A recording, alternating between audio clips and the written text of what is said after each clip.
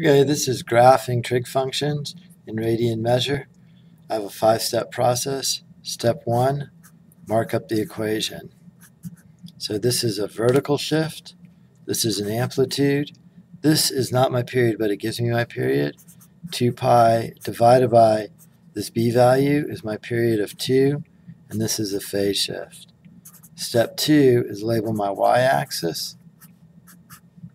So these first two values affect my y-axis.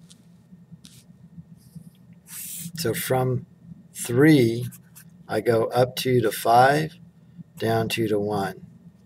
Step 3 is label my x-axis. This is not theta anymore, this is x because I'm in radians. x tells you radians, theta is degrees. And these two values affect my x-axis. I start at 1 and I end 2 units later at 3. So the distance from here to here is my period of 2. Step 4, put in my critical points and my quarter points and look at the function.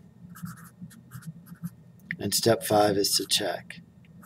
So critical points, this is a sine graph. It starts in the middle on the y-axis. It ends. In the middle of the x is the middle of the y. At this quarter, it's at a high point. At this quarter, it's a low point. I connect the dots. And there's a sine graph. This is at 2. This is halfway between that. So this is 1.5, 2, 2.5, 3. And then let's pick a point like this one right here. Now, me find one that's an integer like 3. So if I pick 3, I plug it in here. 3 minus 1 is 2 times pi is 2 pi.